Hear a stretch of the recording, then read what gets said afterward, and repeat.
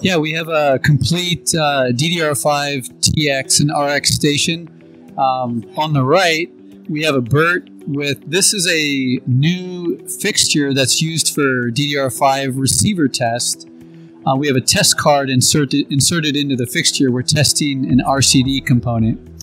So the BERT's gonna it's already calibrated. It's gonna send out a test pattern while in loopback and then measure the measure the errors. I want to draw your attention up to the top here. The the magic that makes this all happen, makes it seem so seamless, is this uh, receiver test application.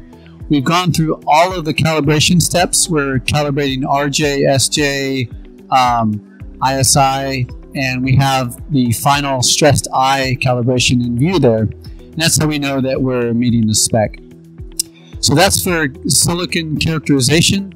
And on the left here, we have now in-system test. So this is an off-the-shelf DDR5 motherboard.